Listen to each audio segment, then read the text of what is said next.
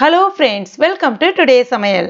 இன்னைக்கு நம்ம டுடே சமையலில் ஹோட்டல் சுவையில் சுவையான தேங்காய் சட்னி. எப்படி செய்யறதுன்னு பார்க்கலாம். ஹோட்டல்ல எல்லாம் முக்கியமான ஒரு பொருள் வந்து சேர்ப்பாங்க தேங்காய் சட்னி செய்யும்போது. அதனால தான் அவங்க தேங்காய் சட்னி செஞ்சால் மட்டும் நல்ல வெள்ளை வெளியேன்னு நல்ல சுவையாக சூப்பராக இருக்கும். இன்னைக்கு நம்ம அந்த பொருட்கள் எல்லாம் சேர்த்து செய்ய போகிறோம் ரொம்ப ரொம்ப டேஸ்ட்டாக இருக்கும். இதை இப்போ நம்ம எப்படி செய்யறதுன்னு பார்க்கலாம்.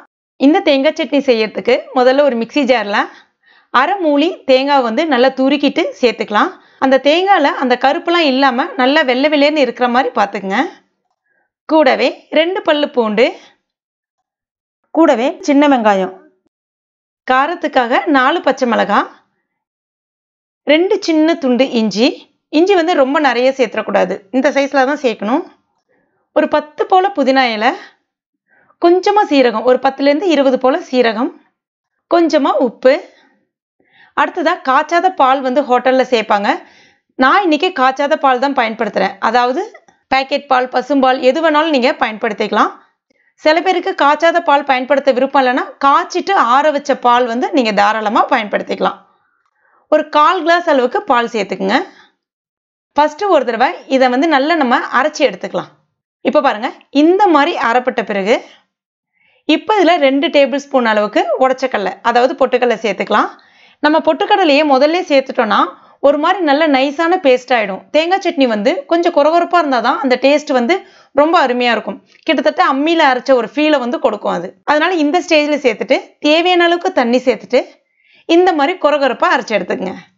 பாருங்க இந்த பதத்துக்கு இருக்கணும். இதுதான் வந்து ஹோட்டலில் உங்களுக்கு அப்படியே இந்த மாதிரி கிடைக்கும். இதுக்கப்புறம் நீங்கள் இது வந்து கட்டி சட்னியாகவும் பயன்படுத்திக்கலாம். தேவைப்பட்டால் கொஞ்சமாக தண்ணி சேர்த்துட்டும் பயன்படுத்திக்கலாம். நான் இன்னைக்கு ஓரளவுக்கு தண்ணி வந்து சேர்க்க போகிறேன் இப்போ இதுக்கு நம்ம ஒரு தாளிப்பு ஒன்று கொடுத்துடலாம். அதுக்கு வந்து ஒரு பேனில் ரெண்டு டீஸ்பூன் எண்ணெய் ஒரு டீஸ்பூன் கடுகு ஒரு டீஸ்பூன் உளுந்த பருப்பு ரெண்டு வரமிளகாவை உடச்சி விட்டு சேர்த்துங்க. இதெல்லாம் நல்லா பொரிஞ்சு வந்த பிறகு கொஞ்சமாக கருவேப்பிலை இலைகள். அவ்வளோதான் இதை வந்து நம்ம அரைச்சி வச்சுருக்க அந்த சட்னியோடு சேர்த்துற வேண்டியதுதான்.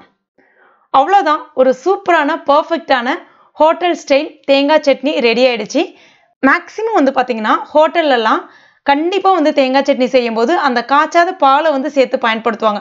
ரொம்ப ரொம்ப டேஸ்ட்டாக இருக்கும். காய்ச்சாத பால் பயன்படுத்துறதுனால ஏதாவது ஆகுமா அப்படின்னு நீங்கள் பயப்படவே வேணாம். கடைகளில் கிடைக்கக்கூடிய அந்த மில்க் ஷேக் எல்லாத்துமே வந்து பார்த்தீங்கன்னா காய்ச்சாத பால் தான் மேக்ஸிமம் பயன்படுத்துகிறாங்க அது எல்லாமே நம்ம இன்றைக்கி சாப்பிட்டுட்டு தான் இருக்கோம். ஒரு முறை நீங்கள் வந்து இந்த சட்னியை ட்ரை பண்ணி பாருங்கள் ரொம்ப ரொம்ப டேஸ்ட்டாக இருக்கும்.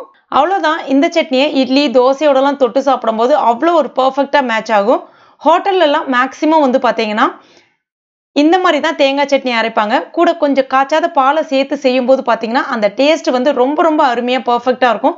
கண்டிப்பாக நீங்களும் உங்கள் வீட்டில் ட்ரை பண்ணி பாருங்கள் ட்ரை பண்ணி பார்த்துட்டு மறக்காமல் எனக்கு கமெண்ட் பண்ணுங்கள் இந்த வீடியோ உங்களுக்கு பிடிச்சிருந்துன்னா லைக் பண்ணுங்கள் உங்கள் நண்பர்கள் மற்றும் ஃபேமிலி மெம்பர்ஸ் கூட மறக்காமல் ஷேர் பண்ணுங்க. மேலும் இது போன்ற டேஸ்டி ரெசிபிகளுக்கு நம்ம டுடே சமையல் இது வரைக்கும் நீங்கள் சப்ஸ்கிரைப் பண்ணலைன்னா உடனே சப்ஸ்கிரைப் பண்ணீங்க. கூடவே மறக்காமல் அந்த பெல் நோட்டிஃபிகேஷன் சிம்லையும் ப்ரெஸ் பண்ணிங்க. Thank you